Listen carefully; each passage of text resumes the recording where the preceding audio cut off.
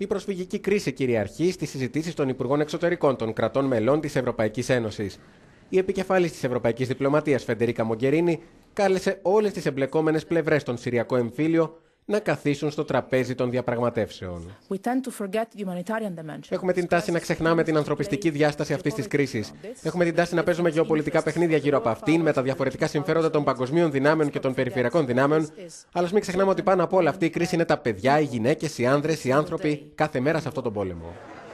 Την προσεχή Δευτέρα στην Γενέβη έχει προγραμματιστεί η έναρξη των ειρηνευτικών συνομιλιών για την Συρία.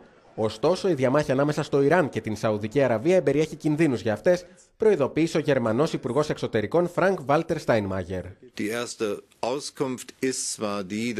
Οι πληροφορίες που λαμβάνουμε και από τα δύο κράτη είναι ότι θέλουν να συνεχίσουν να παίζουν επικοδομητικό ρόλο στο Συριακό ζήτημα. Εάν όμως συνεχιστεί η κλιμάκωση, δεν μπορείς να ελέγξεις την δυναμική της σύγκρουσης.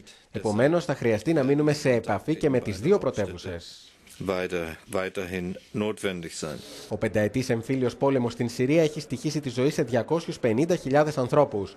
Περισσότερα από 10 εκατομμύρια εκτιμάται ότι εξαναγκάστηκαν να εγκαταλείψουν την πατρίδα τους και να γίνουν πρόσφυγες.